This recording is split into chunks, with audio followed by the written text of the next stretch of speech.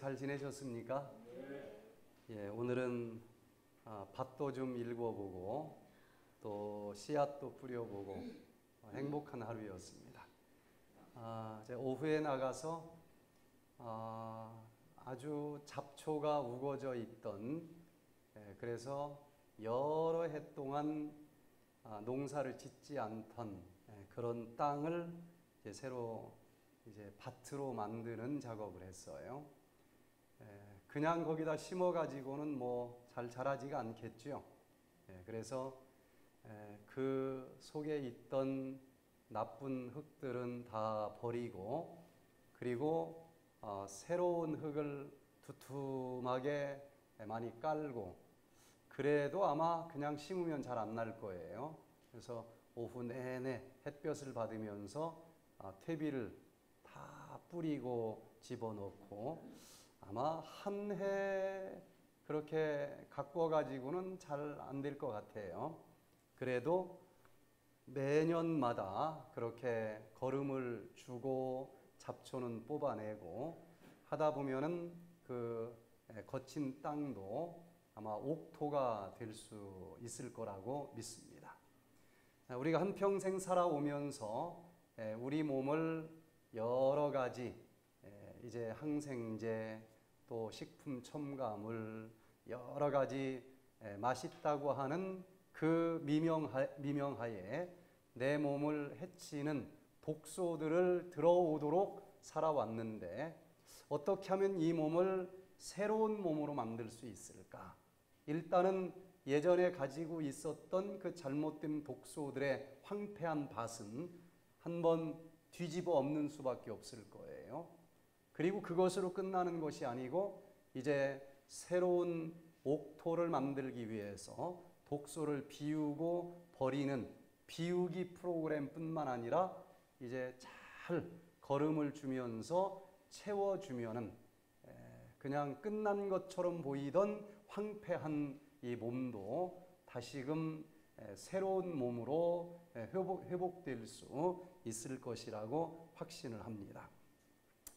그래서 백세 건강을 위해서 아프지 않고 건강하게 살아가기 위해서 꼭 우리가 해답을 찾아야 될 천 가지 문제를 하나씩 해답을 좀 찾아가고 있는데 오늘 저녁에는 지금까지 잘못 살아와서 내 몸속에 독소가 너무 많이 쌓여 있을 때 이것을 어떻게 갈아엎으면서 이 독소들을 한번 다 버릴 수 있을까? 여러 가지 방법들이 있어요. 그래서 이 디톡스 프로그램의 종류들을 좀 생각해 보고 그리고 어떤 디톡스가 가장 우리에게 효능이 좋을지 한번 생각을 해 보도록 하겠습니다. 자, 디톡스라고 하는 말이 요즘 참 많이 어, 떠돌아다니죠. 예, detoxification 아, 이 에, 약자인데 아, detoxification 텔레비전을 TV로 아, 약자로 우리가 많이 얘기하듯이 이 detoxification을 그냥 약자로 해서 디톡스라고 많이 불러요. 아, 디톡스의 de는 뭔가를 제거해 주다, 버려준다 아, 이런 뜻이고 아, tox는 독소, 독소라고 하는 뜻이니까 디톡스 그러면은 아, 내 몸에서 질병을 유발시키는 여러 가지 독소들을 버려준다라고 하는 뜻이 되겠습니다. 그래서 어, 이게 한 10여 년 전에 우리나라에 들어오면서 여러 가지 말로 번역들이 됐어요. 디톡스를 아, 제독이라고 번역을 한 사람들도 있고 또 배독이라고 번역을 한 사람들도 있고 해독이라고 번역을 한 사람들도 있어요. 어떤 게 제일 딱 와닿습니까? 해독. 해독. 예. 그 말을 우리나라 사람들은 가장 많이 써요. 예. 그런데 아, 디톡스의 원래 의미하고는 조금 벗어난 것 같기도 해요. 제독 그러면 제해주다. 내 몸에서 독소를 버려주다. 제해주다.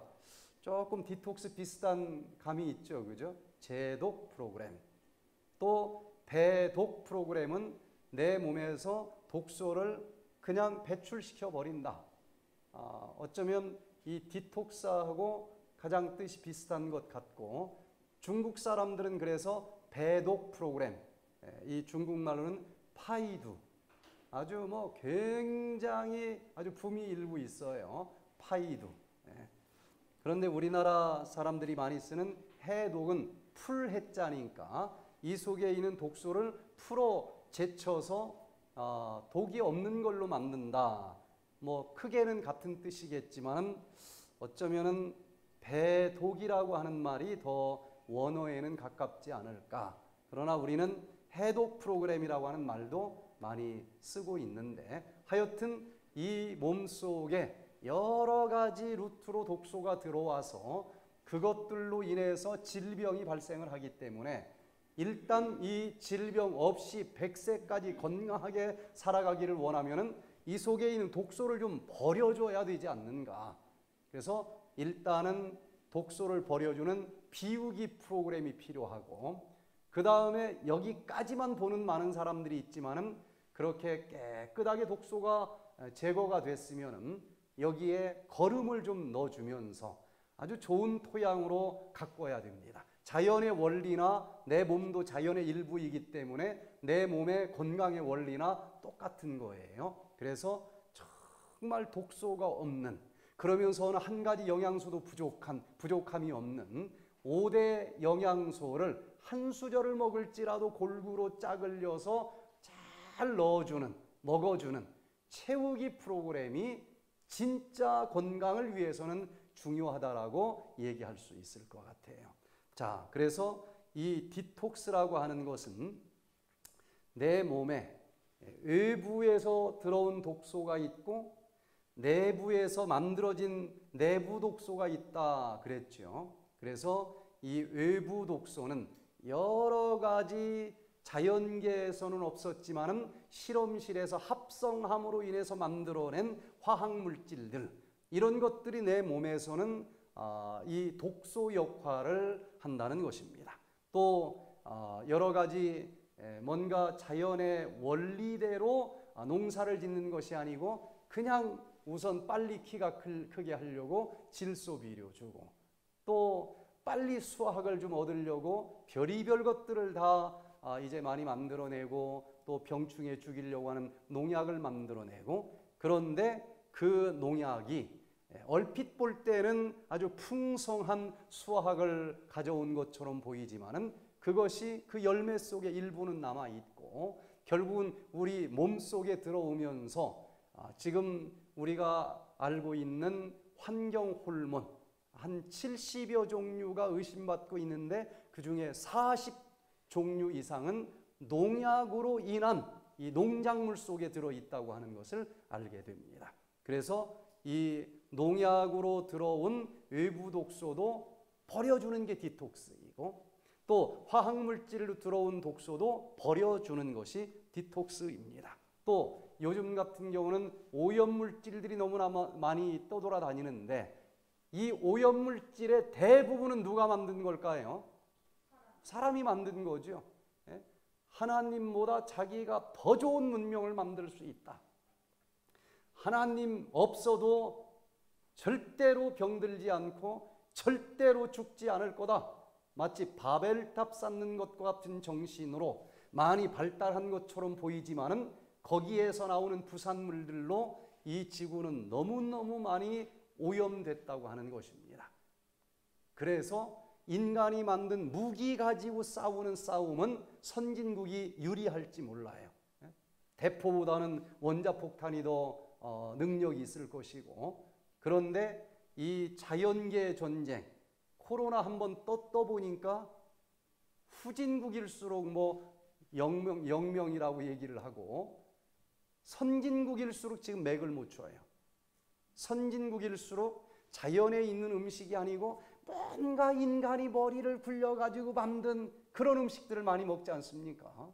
그래서 면역력이 훨씬 더 떨어져 있는 거예요.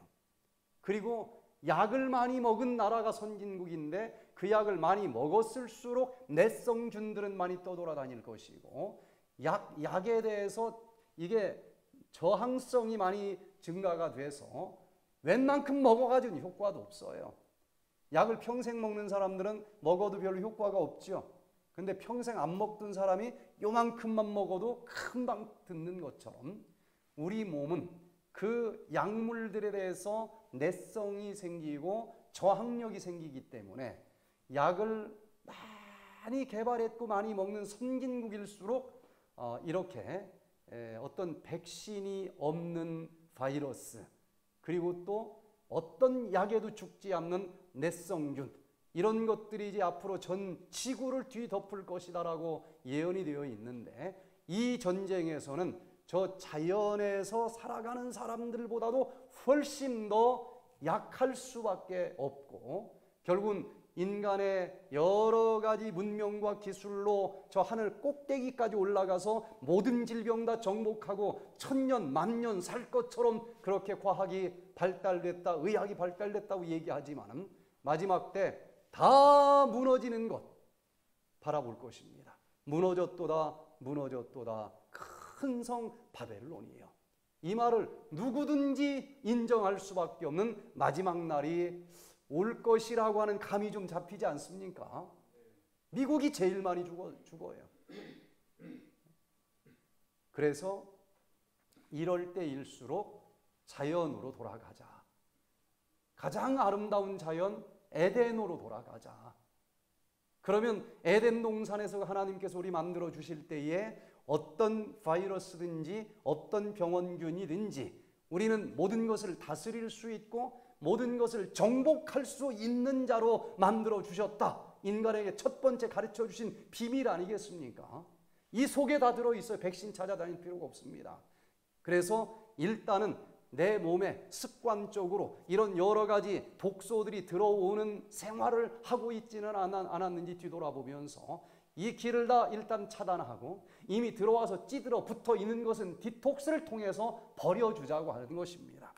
또 이 여러 가지 예쁘게 만들고 썩지 않게 만들고 더 맛있게 만든다라고 하면서 개발한 수많은 식품 첨가물들이 예전에는 너무 작은 단위였기 때문에 그 피해가 구체적으로 어떻게 나타나는지 잘 알 길이 없었지만 요즘에는 다 추적이 되고 그런 것들이 두뇌 건강을 망가뜨리고 아이들의 IQ가 한 10 정도 확 떨어지게 만들어지는 장본인이다라고 밝혀지고 있습니다. 그래서 이런 독소들을 완전히 몸 밖으로 씻어 버려주는 디톡스가 필요하다는 것입니다. 또 들어올 때는 괜찮았지만은 이런 것들이 처리되는 과정에서 속에서 독소로 나오는 것을 내부 독소라 그러는데 아무리 좋은 영양소, 탄수화물이라 할지라도 밤 10시에 먹으면 그건 독소가 됩니다. 또 너무 많이 먹어도 쓰고 남은 것들이 불연소 되면서 젖산이라고 하는 독소가 되고 근육에 쌓이면 너무너무 피곤한 거예요. 또 단백질 참 좋은 영양소이지만은 단백질은 오늘 필요한 것만 먹어야 돼요. 더 먹으면은 얘는 쌓아놓질 않습니다. 저장이 안 돼요. 그런데 이것이 분해되면서 엄청난 독소들이 나오는데 그때 나오는 내독소 중에 하나가 암모니아라고 하는 내독소. 단백질을 필요량 이상으로 섭취할 때 나오는 내독소입니다. 또 이것이 또 그 다음 단계에서는 요산이라고 하는 것으로 또 변형이 되기도 합니다. 또 이 단백질이 분해되는 과정에서 호모시스테인이라고 하는 무서운 내독소가 나오기도 하면서 젊은 30대, 40대의 심장이 파열돼서 죽는다. 대부분은 이 호모시스테인이라고 하는 내독소 때문에 죽는다라고 하는 사실들도 밝혀지고 있습니다. 그래서 요즘에 뭐 어디 특별히 병원균이 들어와서 생긴 병이 아니고 뭐 특별한 병명은 없는데 천근 만근 몸은 무겁고 점점점 몸이 쇠약해지는 질병들이 너무너무 많아져요.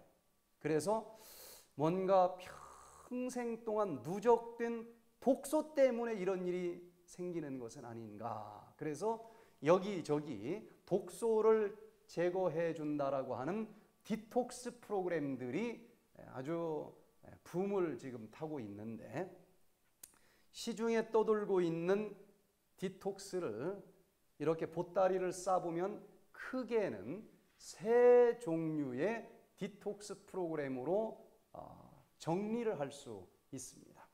첫 번째는 단식요법이에요. 뭔가 많이 먹었기 때문에 독소가 쌓인 것 아니냐. 오늘부터 안 먹는다. 그러면 독소가 제거가 될까요? 안 될까요? 제거가 됩니다. 특별히 오토파지 시스템이 밥을 먹지 않으면 스위치가 켜져요.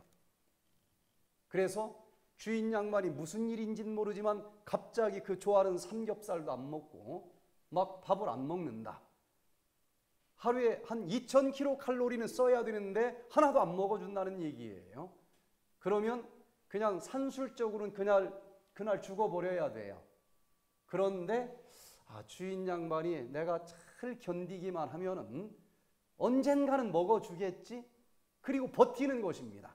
배가 고프고 힘들지만 버티는데 그래도 손가락도 까닥하고 눈도 깜빡깜빡 해야 되니까 에너지는 써야 되잖아요. 안 먹어주는데 그 에너지는 어디서 나오느냐? 2016년도에 아, 이 현상을 잘 정리해서 일본의 요시노리 교수는 아, 이것을 오토파지 현상이라 이름을 붙였고 노벨 생리의학상을 탔습니다. 바로 먹지 않으면 내 몸속에 있는 무엇인가를 뜯어 태우는 현상이 벌어지더라. 그래서 내 몸에 쓰레기, 염증, 암세포 이런 것들이 이 오토파지 원리에 의해서 이게 뜯어져 태워지기 때문에 일정량 질병이 치료되는 효과가 효과까지 나타날 수 있다. 그래서 옛날부터 단식요법은 계속 내려오던 것들이에요. 그런데 단식요법을 하면은 내 몸속에서 독소가 제거되는 면도 있지만 또 독소가 만들어지는 측면도 있습니다. 예를 들어서 내 몸에 있는 뭔가 지방을 뜯어 태우겠죠. 단백질이나 뭐 지방이나. 그런데 지방을 뜯어 태우는 과정에서 독소가 또 나오기도 해요. 그리고 문제는 어느 정도 효과가 있기는 하지만 너무너무 배가 고파서 이렇게 하면 암이 다 굶어 죽겠지. 굶어 죽지요. 안 먹으니까. 그건 알겠는데 암세포 굶어 죽기 전에 내 세포가 먼저 굶어 죽을 것 같아. 그래서 암세포와 여러 가지 독소를 완전히 다 제거해 줄 때까지 인간인 이상은 배고파서 끝까지 견딜 수가 없다라고 하는 단점이 있다는 거예요. 이건 해본 사람은 압니다. 솔직히 얘기해서 계속 단식하면 암세포 굶어 죽어요. 그러나 암세포만 굶어 죽는 게 아니라 내 정상세포도 굶어 죽어서 누가 먼저 죽을지 몰라. 그래서 이 여러 가지 질병을 치료하는 프로그램으로는 어느 정도 효과가 있다고 해도 엄두가 안 나는 것입니다. 자, 그래서 이것보다는 조금 업그레이드 된 방법이 나왔어요. 절식요법입니다. 하나도 안 먹으면 죽는 게 뻔하니까. 그리고 너무너무 힘드니까 뭔가를 조금 먹으면서 하는 거예요. 그러나 배부를 정도는 먹지 않습니다. 그냥 뭔가 조금씩 먹으면서 그래도 너무너무 배는 안 고프게 하면서 이 오토파지 시스템이 가동되게 해주는 방법이 절식요법입니다. 그런데 이 절식요법 중에서 많은 사람들에게 알려진 것이 뭔가 하면 포도요법. 포도 하나만 먹는 거예요. 녹즙요법. 녹즙 하나만 마시는 것입니다. 그러면 아무것도 안 마시고 안 먹고 하던 단식요법보다는 그래도 뭔가 들어오니까 할만하지 않겠어요? 어, 한결 낫습니다.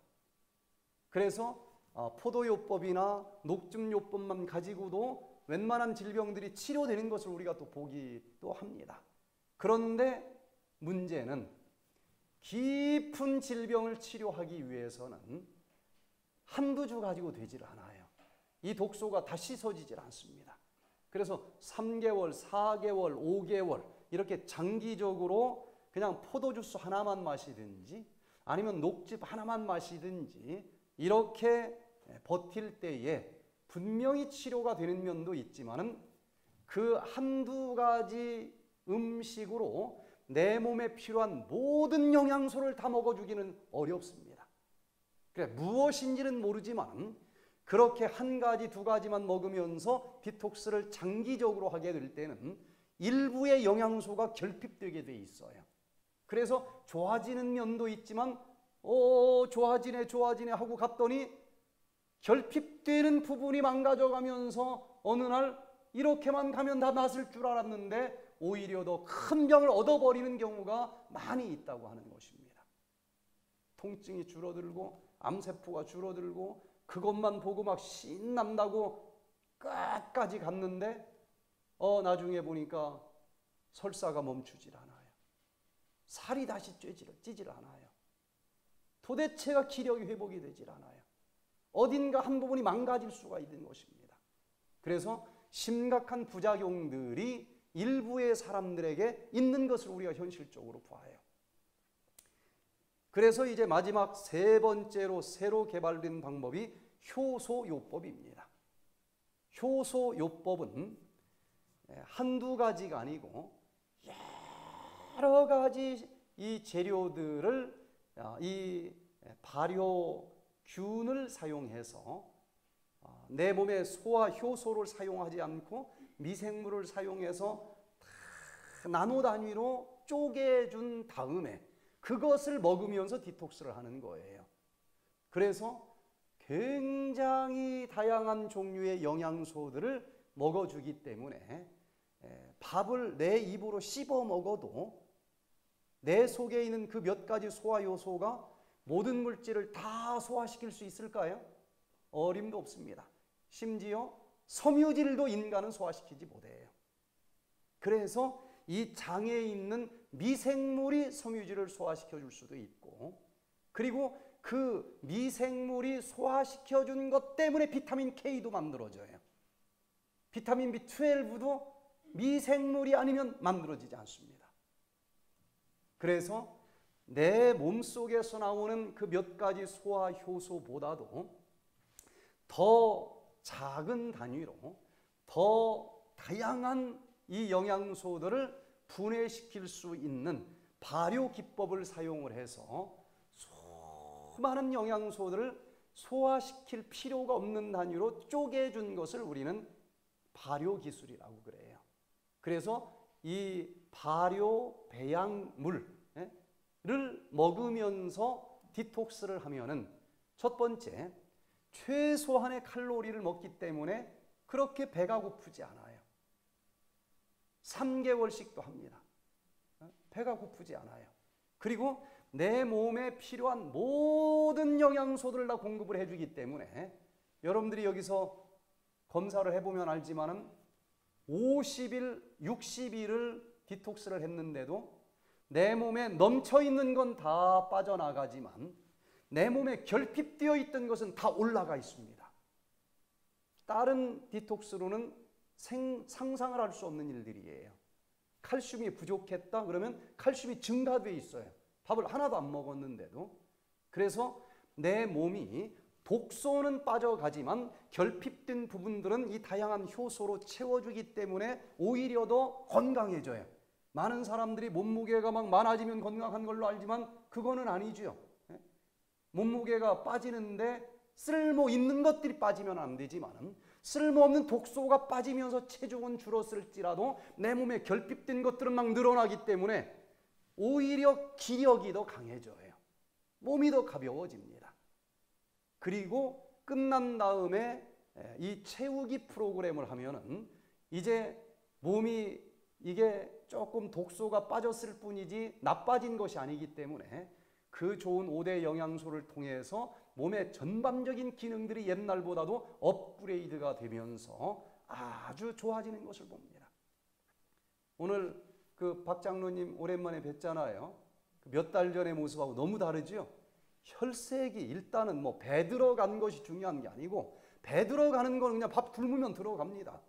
그런데 단식요법으로 배가 들어가면은요 얼굴은 쭈글쭈글해집니다. 아주 이상해요 얼굴이. 예? 그런데 원래 그랬던 것처럼 그냥 아주 혈색이 돌지 않습니까? 14kg가 빠져서 완전히 다른 사람이 돼 있어요. 기력이 더 강해지고 이렇게 효소요법을 쓰면은 배가 고프지 않기 때문에 몇 개월이라도 지속할 수 있고 내몸내 몸속에 있는 마지막 독소가 빠져 나갈 때까지 디톡스를 할 수 있다고 하는 장점이 있고 그러면서도 이 몸에 붙어 있는 독소들이 물만 마신다고 해서 이게 청소되는 것이 아니지 않습니까? 묵은 때를 씻을 때 물걸레로 아무리 싱크대에 씻어 보세요 씻어지는지 그러나 세제를 찍찍 뿌리고 닦으면 어때, 어때요? 그냥 뽀도독 하고 씻어지듯이 오히려 물만 먹고 굶을 때보다도 이 효소를 먹으면서 하면은 이 혈관 벽이나 기관에 찌들어 붙어 있는 독소들이 더 쉽게 떨어져 나온다는 거예요. 집에서 빨래할 때보다도 저쪽 세탁소에다가 맡기면 기름때 더 잘 벗겨지죠. 왜 그렇습니까? 이게 어떤 때이냐를 분석을 해서 기름 때면은 지방을 분해하는 효소를 집어넣어요. 단백질 때이면은 단백질을 분해하는 효소를 집어넣어서 그냥 빨래 이거 저기다 놓고 비비지 않아도 그냥 다 녹아서 떨어지듯이 그런 효소들을 먹어주면서 디톡스를 하면은 독소가 훨씬 더 배가 안 고프면서도 쉽게 청소가 됩니다. 그러면서도 소화시킬 필요 없이 이 영양소들이 다 공급되기 때문에 몸이 그렇게 축이 나지 않으면서 질병이 치료될 때까지 이 디톡스를 지속할 수 있다고 하는 단점이 있기 때문에 제가 단식요법도 시작을 해서 절식요법까지 해보고 그리고 마지막에 효소요법까지 지금 올라와서 해보니 가장 편안해요. 그래서 두 번째, 세 번째 또 하고 싶은 마음이 들고 그리고 요요 현상 없이 얼마든지 이 몸을 관리할 수 있는 그런 방법이기 때문에 우리는 어, 가장 합리적이라고 얘기할 수 있는 효소요법을 통해서 이 디톡스를 지금 하고 있는 것입니다. 험한 세상에서 살아가기 때문에 어느 정도는 독소가 들어올 수밖에 없을지도 몰라요. 그러나 종종 너무 힘들지 않으면서도 이런 어, 이 몸속에 들어온 독소들을 그때그때 이렇게 청소해 줘 가면서 100살이 넘도록 질병 없이 건강하게 살아갈 수 있는 우리 모두가 되시기를 간절히 바랍니다.